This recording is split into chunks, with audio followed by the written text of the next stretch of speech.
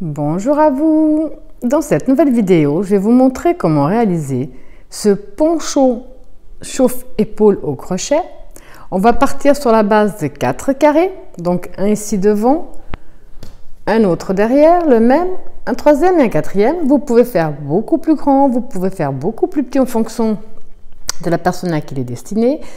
Je vous, vous verrez les photos, normalement vous pouvez le porter donc sans cette partie ici sur le bas, ce sera tout ouvert. Vous pouvez le porter de cette façon-là. Ou alors la pointe vers le bas, comme ceci. La pointe ici vers le bas et l'autre pointe également. Comme là, je l'ai fait pour moi et je ne suis pas trop pointe devant ou pointe derrière. Donc, je l'ai fait vraiment de la façon dont je voulais le porter. Avec un carré devant, l'autre carré derrière. Et cela plié en deux tout en faisant également ensuite ici plusieurs tours pour que ça descende bien sur le, bah, ventre et que ce soit bien, chaud pour cet hiver. On va faire que répéter deux tours en permanence. Donc c'est vraiment plus ces deux tours très très simples et très faciles à réaliser. Et vous pouvez l'adapter comme je vous l'ai dit. Alors ici le mien, je l'ai fait pour ma taille, donc un 38-40. Vous pouvez, comme je vous ai dit, en partant simplement de la base du carré que je vais vous montrer, faire plus de tours ou moins de tours. On va faire un tour, on va répéter deux tours en permanence. Le tour des espaces et le tour des brides. Le tour des espaces et le tour des brides. Et sache qu'obtenir le carré que vous désirez. Ensuite, comme je vais vous l'expliquer, on va en faire quatre. Comme ça, vous pouvez vraiment l'adapter à, la personne à qui il est destiné. Euh, je crois que c'est tout.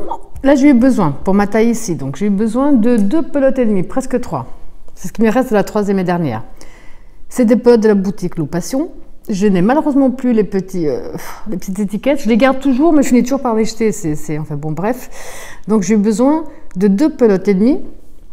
Et je l'ai crocheté avec le crochet numéro 4. Alors comme d'habitude, dans la description de ma vidéo, donc sous la vidéo, vous trouverez autant le lien direct pour la main droite, autant le lien direct pour la main gauche, pour Facebook, pour Instagram. Tous les liens qui peuvent vous être utiles se trouvent dans la description. Et pour ceux et celles qui ne sont toujours pas abonnés à ma chaîne, surtout n'hésitez pas à cliquer sur s'abonner et à partager un maximum les vidéos.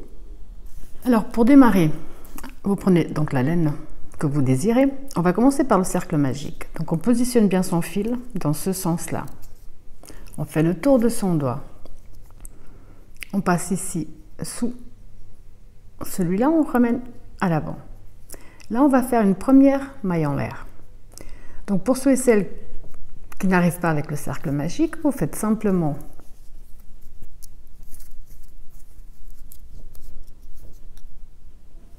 là. On va vous faites simplement 6 mailles chaînettes.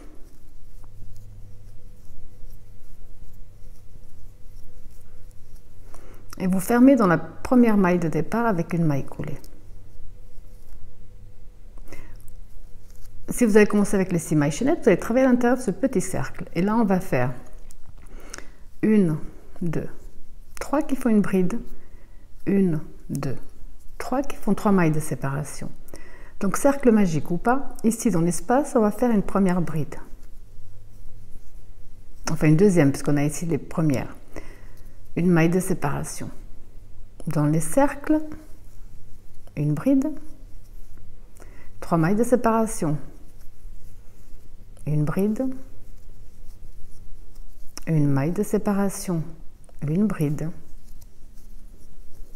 trois mailles de séparation, une bride, une maille de séparation, une bride, trois, une, deux, trois, une bride, une maille de séparation.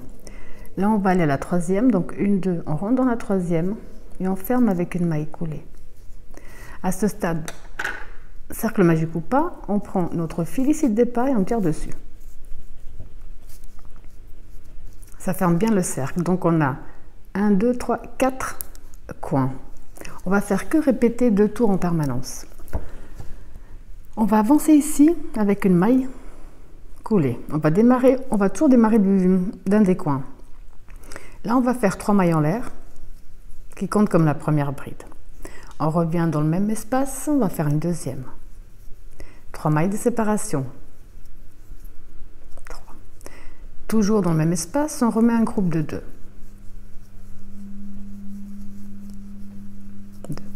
Maintenant, on va faire une bride dans la bride, une bride dans l'espace qui les sépare, une bride dans la bride. Dans les ongles, on va répéter un premier groupe de deux, les trois mailles de séparation, un deuxième groupe de deux brides.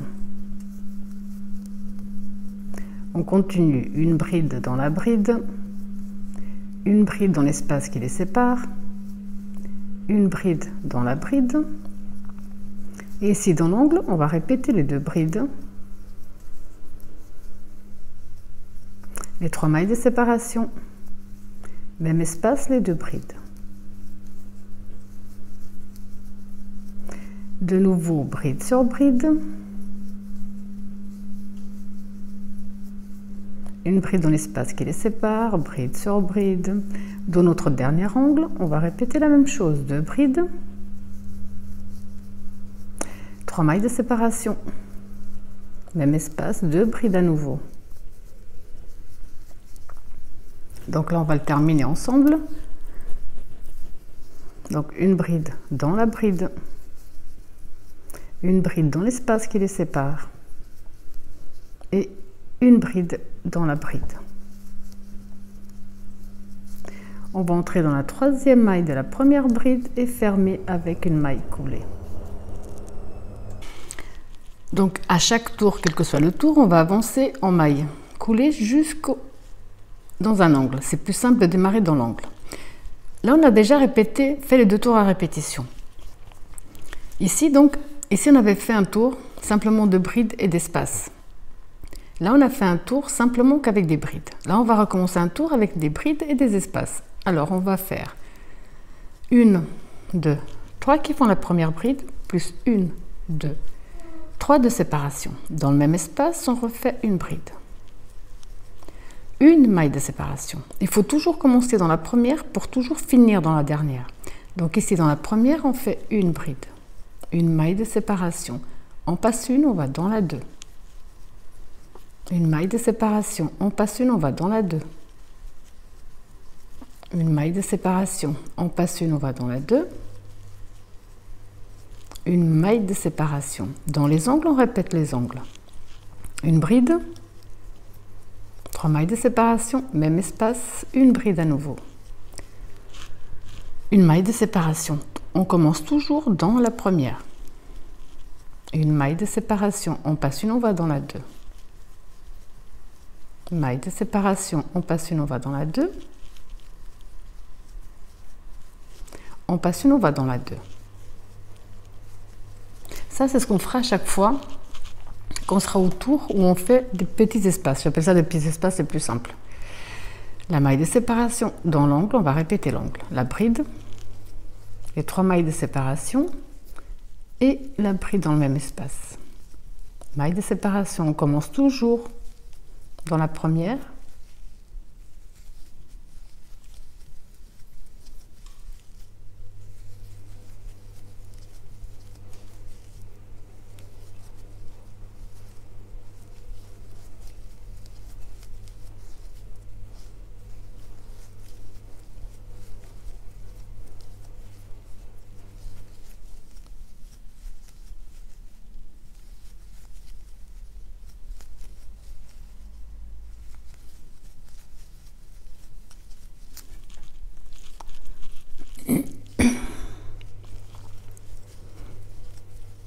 Et on finit toujours dans la dernière. La maille de séparation et on va compter une, deux, on va dans la 3. On ferme avec une maille coulée. On a fini le tour des petits espaces. On va commencer le tour des brides. Donc on va démarrer directement avec une maille coulée dans notre angle. Une, deux, trois qui font une bride. On doit faire deux brides dans l'espace. Donc là on en fait deux. Toujours les trois mailles de séparation, Et dans le même espace, on refait un groupe de deux. C'est ce qu'on va faire dans chaque angle. Ensuite, on va faire ce qu'on a déjà fait, bride sur bride, et une bride dans l'espace qui les sépare. Bride sur bride, bride dans l'espace qui les sépare,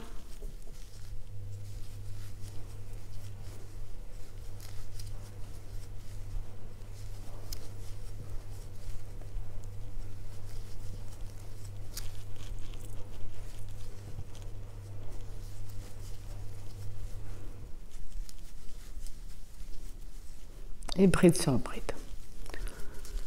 Chaque fois qu'on va arriver, pardon, ici dans l'angle, on va répéter les deux brides,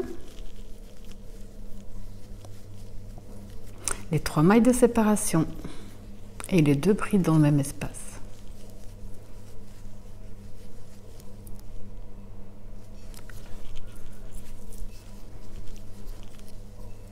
Là. Et là, on continue bride sur bride et bride dans les espaces qui les séparent. Donc vous allez tout simplement répéter ce même procédé jusqu'à la fin de ce tour.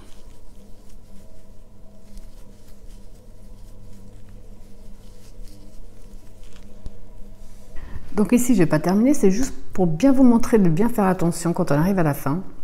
On pourrait croire qu'ici, les trois maillons l'air correspondent à cette bride, ce qui n'est pas du tout le cas. Donc il ne faut pas oublier de travailler notre dernière bride. Ici, dans la troisième maille, on ferme avec une maille coulée. On va de nouveau avancer en maille coulée jusqu'à l'espace. Là, on va répéter le tour où on fait les espaces. Donc les trois mailles en l'air, qui font la première, et les trois mailles de séparation. Même espace, on refait une bride, une maille de séparation. On commencera toujours dans la première maille de séparation. On passe une, on va dans la 2.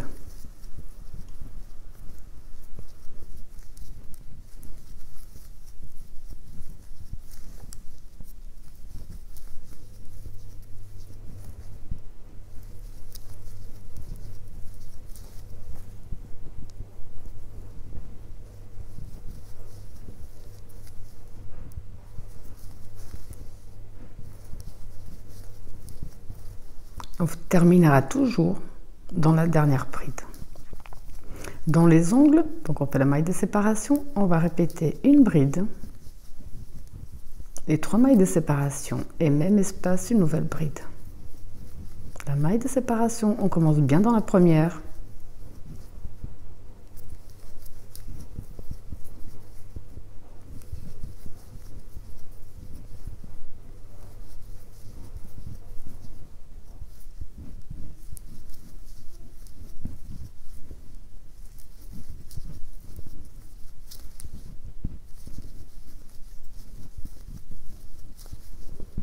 pour bien terminer dans la dernière. Maille de séparation, dont les ongles, on répète les ongles. Donc je vous laisse à nouveau terminer ce tour. Je vous montrerai, je vais vous montrer une toute dernière fois comment reprendre, puisqu'on va faire que répéter ces deux tours-là. Un tour on va faire, on va faire que des brides, et dans les angles, on va faire deux brides, trois mailles de séparation, deux brides, et un tour on va faire des espaces, où dans chaque angle, on fera une bride, trois mailles de séparation, une bride. Une maille de séparation, on commence dans la première. Maille de séparation, on passe une, on va dans la 2. Maille de séparation, on passe une, on va dans la 2. Et si on ne s'est pas trompé, on va terminer dans la dernière.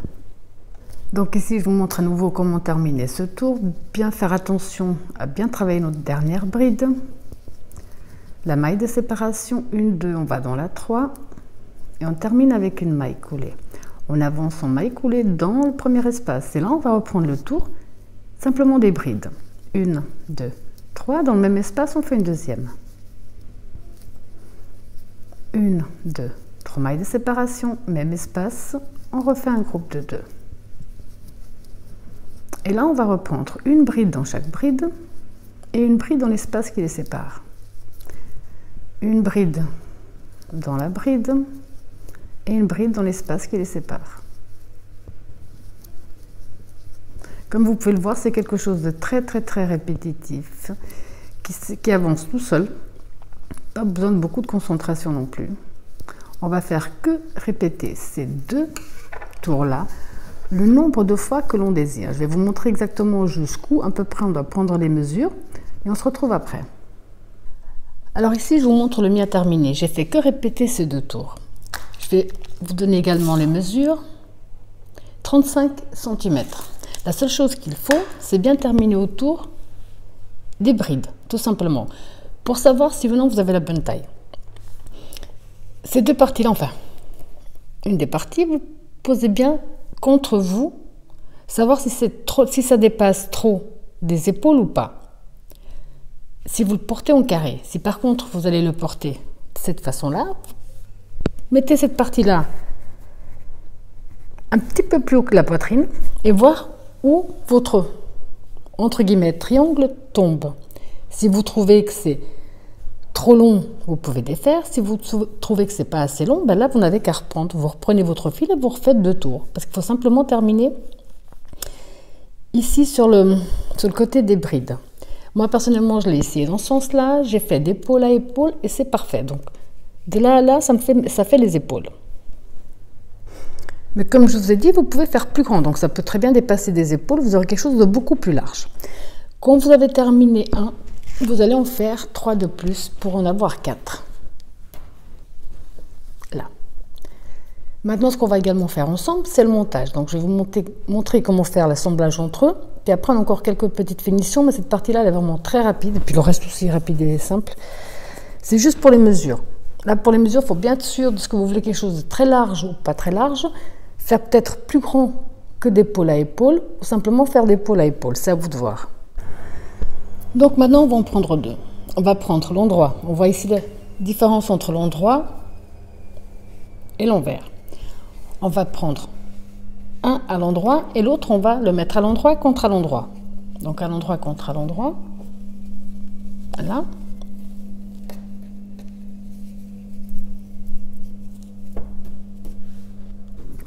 Donc endroit contre endroit. Ici, on a bien les trois mailles de séparation de chaque côté. On va entrer dans la deuxième, celle du centre, d'un côté, et dans la deuxième, celle du centre, de l'autre côté.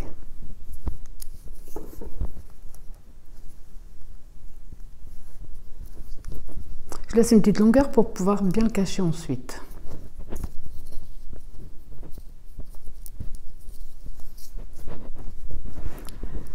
On retourne ici, donc dans le même espace. On ramène, on fait une maille en l'air. On va dans la maille en l'air suivante. On prend bien celle qui correspond. en face, maille serrée. On prend donc ici la bride. On prend la bride qui correspond en face. Je profite pour coincer ce fil, maille serrée. Comme on a le même nombre de brides, a pas vous ne devez pas avoir de soucis. Donc on prend bien la bride ici devant, on prend celle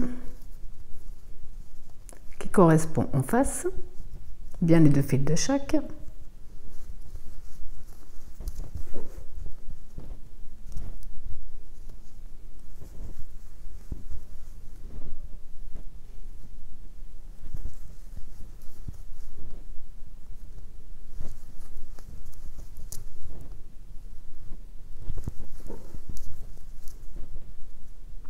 Donc ça, vous avez compris qu'on va le faire sur tout un côté. Donc jusqu'à ce qu'on arrive ici, dans la deuxième maille, sur les trois. Donc ici, je suis arrivée dans la une maille de séparation et une maille de séparation de l'autre côté. Pour éviter de couper le fil et puis de, reprendre cette partie-là. Donc je vais la poser vers le coin. Je vais prendre une troisième toujours l'endroit contre l'endroit. Et je vais profiter de mon fil pour faire cette couture de ce côté-là. Donc celui-là avec celui-là. Je vous montre à nouveau comment on est actuellement pour être sûr qu'il n'y a pas de... Actuellement, on est de cette façon-là. On a terminé un côté. Celui-là, on va le pousser. Pour profiter du fil, ici, je reprends un autre que je mets endroit contre endroit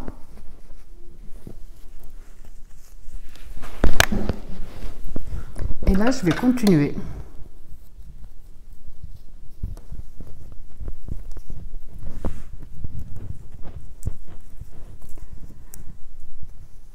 Donc ici, je rentre dans la deuxième. Ici, je prends la deuxième.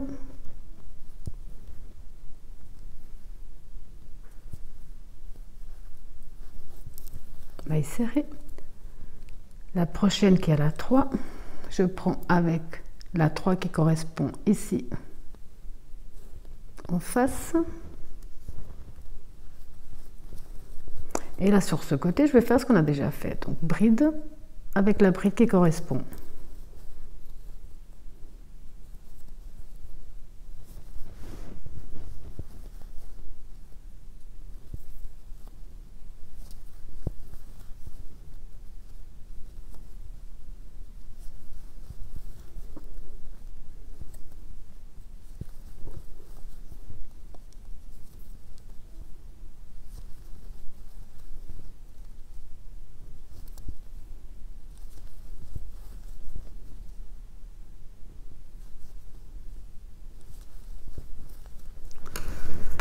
Donc ici, je vous laisse aller également jusqu'au bout. Donc ici, on se retrouve avec ce résultat. Maintenant, un des deux côtés, ça vous de voir. On va prendre notre dernier carré et on va faire l'union ici sur le haut. Donc, je pose bien endroit contre endroit. Là. Et on va faire l'union ici. Donc maintenant que vous savez comment faire, je vous laisse terminer ce côté. Là, je vous montre à quoi ça ressemble actuellement sur un des deux côtés, on a un et sur l'autre, on en a deux qui sont assemblés. Si, comme je vous disais, de ce côté-là, j'en ai un seul. Alors maintenant, pour qu'on puisse toujours travailler l'endroit contre l'endroit, celui-là, je vais simplement le plier en deux, le poser ici, là. Je vais prendre l'autre côté et je vais prendre donc cette partie-là, le deuxième, et je vais faire le poser sur le carré en forme de triangle, comme ceci. Donc notre seule dernière couture qu'on a à faire, c'est ce côté-là. C'est deux ici pour que ce soit terminé. Donc je vous remontre bien que ce soit qu'il n'y ait pas de souci. Le côté il n'y en a qu'un seul, je vais simplement le plier en deux. Le côté ici où il y en a deux, là, je vais prendre celui-là, je vais le poser de la même façon, bien en forme de pointe ici, et je vais faire ma dernière couture simplement ici, sur ces deux-là. Alors maintenant qu'il est assemblé, j'ai caché tous mes fils je l'ai positionné. Moi, je vais le porter de cette façon-là, mais vous pouvez le porter, bien entendu, avec la pointe vraiment poncho vers l'avant et vers l'arrière. Maintenant, ce qu'on va encore faire, c'est ici sur l'ouverture du cou. On pourrait très bien faire une sorte de col roulé. Moi, personnellement, je ne vais pas faire, parce qu'il tombe vraiment bien sur les épaules, donc il n'y a pas de souci. Je vais simplement faire un rang, un dernier rang que je vais vous montrer, en maille serrée avec une maille de séparation. Ensuite, ce que je vais encore travailler, je vais de mettre droit, c'est ici la partie du bas. Je vais faire un ou deux tours donc sur toute la partie du bas en répétant les deux tours à répétition. deux ou non plutôt deux ou quatre parce qu'il faut finir toujours par les par le rang de bride et ensuite, personnellement, je vais encore faire autre chose parce que comme je compte le porter, je vais le faire vraiment à mon idée, à ce que moi je, désire, c'est que ces deux côtés-là, ensuite je vais travailler que sur cette partie-là, enfin, sur l'avant et l'arrière, sans toucher les, les bras. Mais je vous montrerai au fur et à mesure. Donc comme je vous disais, là je vais travailler sur le côté ici d'épaule à épaule. On va prendre notre fil, s'introduire dans n'importe quel maille ou espace. Je laisse toujours une bonne longueur pour pouvoir le cacher.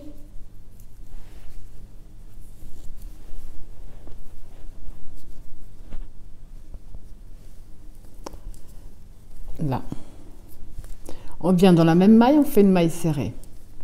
Une maille de séparation. Maille suivante, une maille serrée, une maille de séparation. Maille suivante, maille serrée, maille de séparation.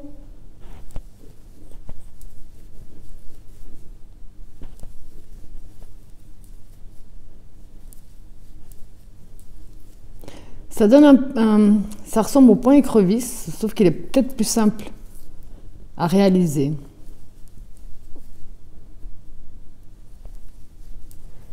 Donc ça vous fait cette finition. Donc pour tout ce tour, simplement une maille en l'air ou une maille de séparation, maille suivante, une maille serrée, maille de séparation, maille suivante, maille serrée, maille de séparation, maille suivante, maille serrée. Donc ça, vous allez le faire sur tout votre tour. Terminez avec la maille coulée et cachez vos fils. Alors dès qu'on a fini donc ici la partie du col, maintenant, c'est personnellement ce que je vais faire. Je vais prendre, donc ici je l'ai plié pour avoir la pointe. Je vais commencer par une pointe, c'est plus simple.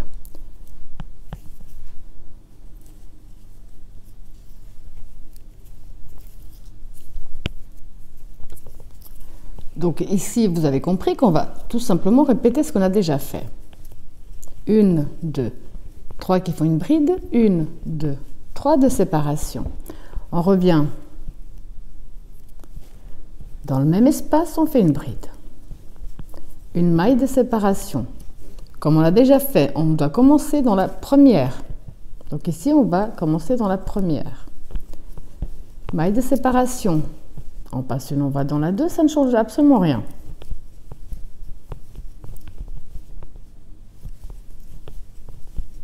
Ça, on va le faire jusqu'à ce qu'on arrive, je vais vous montrer, jusqu'à ce qu'on arrive ici. Donc on vient de commencer ici dans la pointe. Je vais simplement vous montrer comment passer d'un carré à l'autre. Et ensuite, vous allez faire exactement la même chose sur tout votre tour jusqu'au moment où on reviendra ici et on va terminer comme on l'a fait jusqu'à présent. Alors ici, j'ai fait le même procédé jusqu'au dernier, comme on l'a fait jusqu'à présent. Pour passer sur l'autre carré, je vais faire une maille de séparation. Ici, dans la couture entre les deux, je fais une bride. Une maille de séparation. Je vais dans la première et je reprends.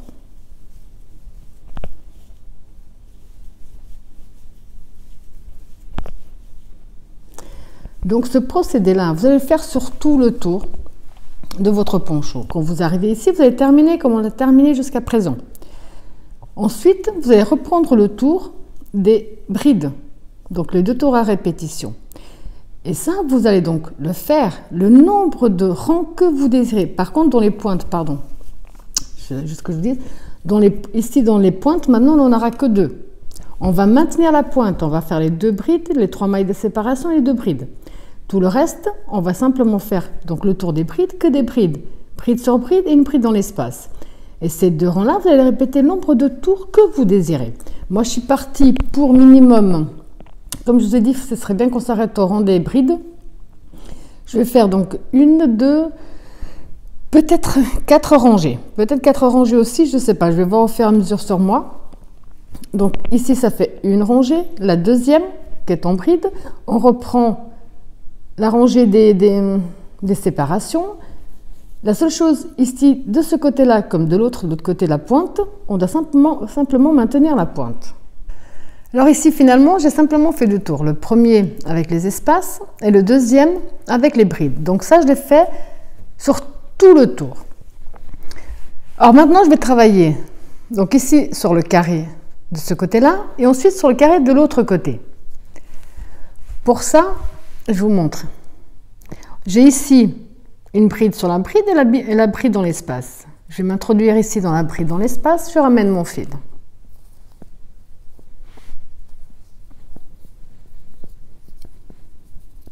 Là, on va commencer le tour avec les espaces.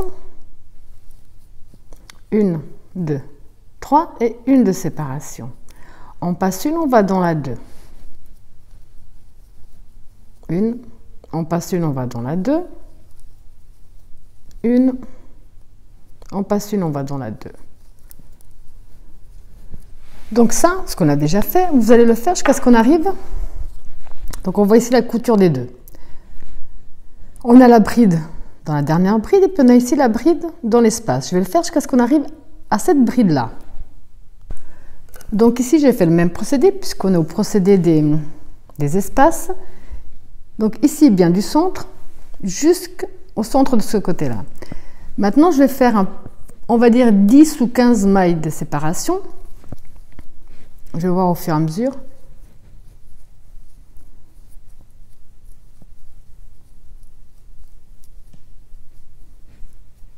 « 10 pour voir.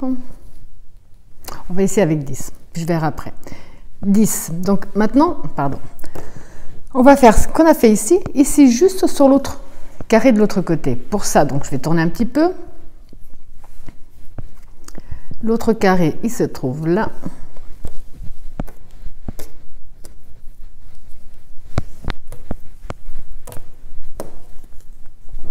Voilà.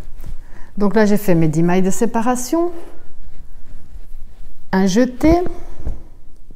Donc ici, dans la bride qui correspond à celle de l'autre côté, on va faire exactement la même chose. Une, bride. Une maille de séparation. On passe une, on va dans la 2.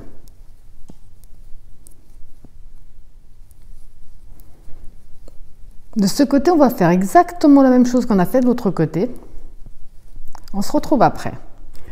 Alors quand on a fait la même chose ici, donc jusqu'à la bride qui correspond, j'ai refait 10 mailles de séparation et j'ai, je vais vous montrer, donc les 10 mailles de séparation pour moi. Et je me suis simplement accrochée ici dans la troisième.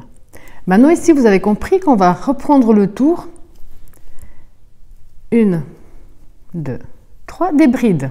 Donc une bride sur, sur bride, bride dans l'espace, bride sur bride, bride dans l'espace. Ça, vous allez le faire jusqu'à ce qu'on arrive au mailles de séparation de l'autre côté. Donc ici, j'ai fait simplement une bride dans chaque bride, une bride dans chaque espace. Je viens de compter mes brides de ce côté-là, j'en ai 69. Ça veut dire que de l'autre côté également, je vais en avoir 69. Parce qu'il faut que là, on va rajouter des brides des deux côtés. Il faut que le total de tout ce grand rond soit un chiffre impair, c'est tout. Donc si ici j'en ai 69, de l'autre j'en aurai 69. Ici je vais mettre 10 brides et là je vais en mettre 10 également. Au total ça me fera 158. Donc j'aurai un chiffre impair. Donc quand j'ai fait ici jusqu'à ma dernière bride, je vais simplement travailler sous les bras ici. Donc j'ai fait 10 mailles de séparation et je vais faire 10 brides.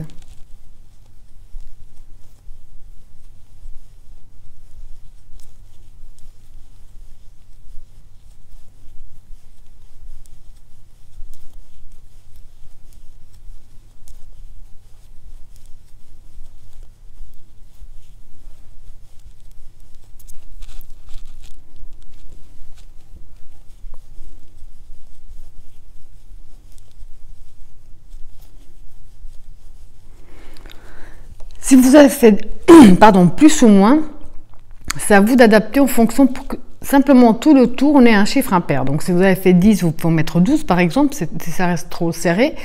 Moi je vais en mettre 10, ça me convient. La seule chose, c'est qu'on doit avoir un chiffre impair sur tout ce tour, c'est tout. Donc dès qu'on a fait là-dessous, là on va reprendre ce qu'on avait fait de l'autre côté. Donc bride sur bride, bride dans l'espace bride sur bride, bride dans l'espace. Ça, vous allez le refaire jusqu'à ce qu'on arrive de nouveau ici de l'autre côté. Vous allez faire le même nombre de brides que vous avez fait de l'autre côté. Et ensuite, on va simplement terminer avec une maille coulée dans la troisième maille en l'air. Donc ici, j'ai fait le même procédé sur tout le tour. J'ai terminé, j'ai fait donc mes 10 brides à l'intérieur. Donc à partir de maintenant, vous avez compris qu'on va tout simplement répéter les deux tours qu'on vient de faire en permanence. Le tour où on va faire les espaces et le tour, on va faire les brides dans les espaces, tout simplement. Quand on démarre le tour avec les brides, une, deux, trois et une de séparation. On passe une, on va dans la deux. On passe une, on va dans la deux.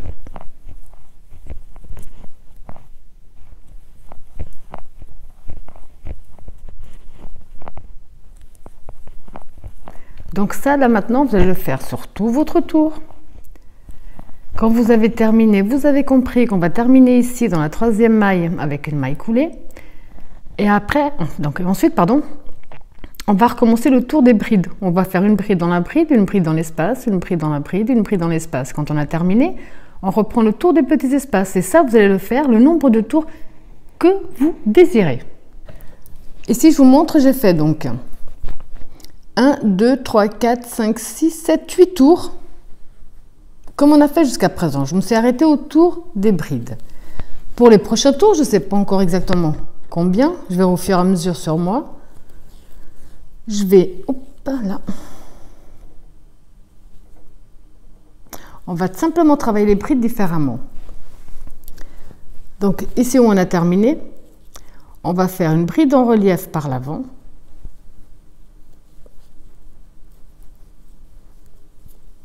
La suivante, une bride en relief par l'arrière. Bride en relief par l'avant. Bride en relief par l'arrière. Par l'avant. Par l'arrière.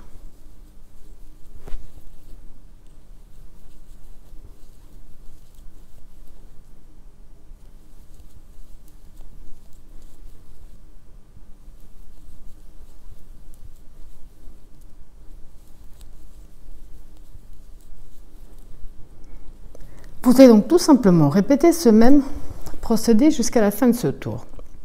On se retrouve après que je vous montre comment faire les prochains. Alors ici, j'ai terminé tout. Avant de terminer, je vais vous montrer. Donc on va entrer ici dans la troisième maille et terminer avec une maille coulée. Donc vous allez terminer tous vos tours de la même façon. Et tous les prochains, vous allez également les commencer de la même façon. On a ici une bride en relief par l'avant. Donc on la travaille en relief par l'avant. On voit ici caché derrière une relief par l'arrière. Alors on la travaille en relief par l'arrière. On voit la différence par l'avant. On la voit qui est cachée juste derrière, donc on la travaille par l'arrière, par l'avant, par l'arrière. Donc tous les prochains tours, quel que soit le nombre, vous allez simplement travailler les brides comme elles se présentent, rien de plus. Si c'est en relief par l'arrière, on la travaille en relief par l'arrière, en relief par l'avant. Et ça, vous allez faire le nombre de tours que vous désirez. Quand vous avez terminé, vous faites, donc terminer avec une maille coulée, une maille en l'air de plus, on coupe une petite longueur pour bien la cacher. Ensuite, vous n'avez plus qu'à cacher tous vos fils et ce sera terminé. Donc moi, je vais continuer encore peut-être deux, trois tours de plus, je ne sais pas très bien. Je vous dirai à la fin. Alors ici, au total, j'ai fait cinq tours exactement de la même façon. Vous devez bien entendu cacher tous vos fils du côté à l'intérieur de notre poncho chauffe-épaule. Et ça vous donne ce superbe résultat, quelque chose de très original et qui se fait très vite. Voilà, j'espère que ma vidéo vous a plu. J'espère à bientôt.